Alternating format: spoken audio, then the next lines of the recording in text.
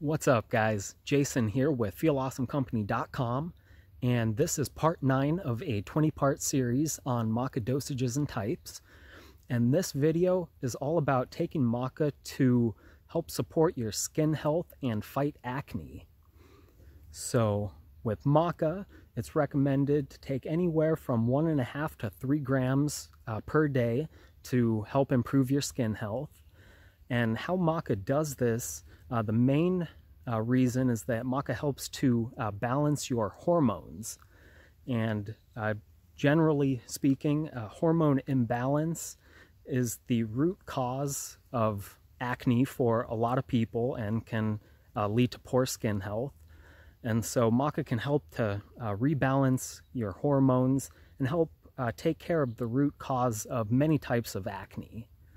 But besides helping to balance your hormones, uh, the different nutrients uh, found in maca, like different proteins, amino acids, uh, vitamins, and minerals, uh, they also uh, help to uh, strengthen your skin, which can improve its appearance as well.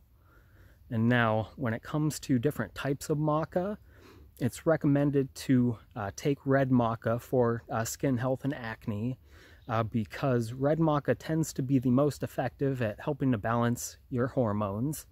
And with that, I will link to my favorite brand down in the description below. Now, if you want to learn about other maca dosages and types for uh, other specific purposes, check out the other videos in this series as they're released. And to do that, make sure you go down, subscribe to the channel, and click the bell icon so that way you get notified. And then I will see you in the next video. Peace.